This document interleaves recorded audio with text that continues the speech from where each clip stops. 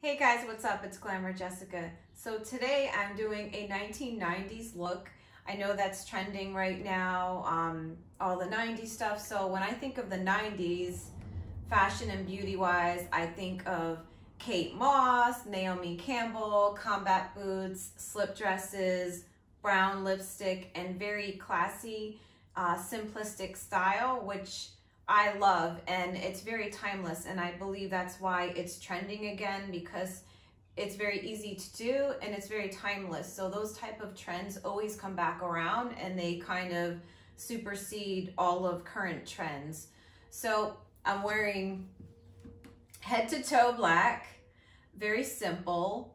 Um, just basically strappy heels with no no embellishments or anything, completely simple style.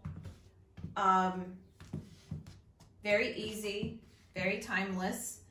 And the hair is very simple and straight, um, you know, a la Jennifer Aniston.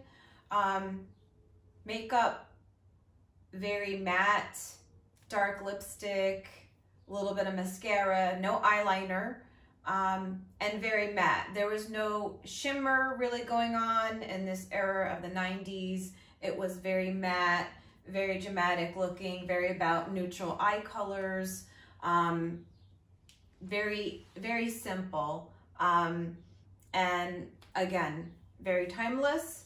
And I feel like very beautiful and very achievable for the everyday woman to do. Um, I feel like it's also um, just very elegant.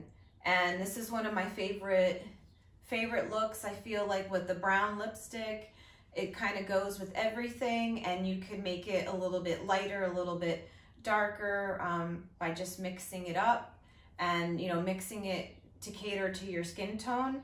And I think that it just is, to really stand out. Bold lipstick, simple style, simple hair, easy look, and um, you know, very, very trendy right now, very lovely, and it's not over the top. So other things from the 90s was they had the little space buns and a little bit of the funky style with those that were their combat boots and stuff.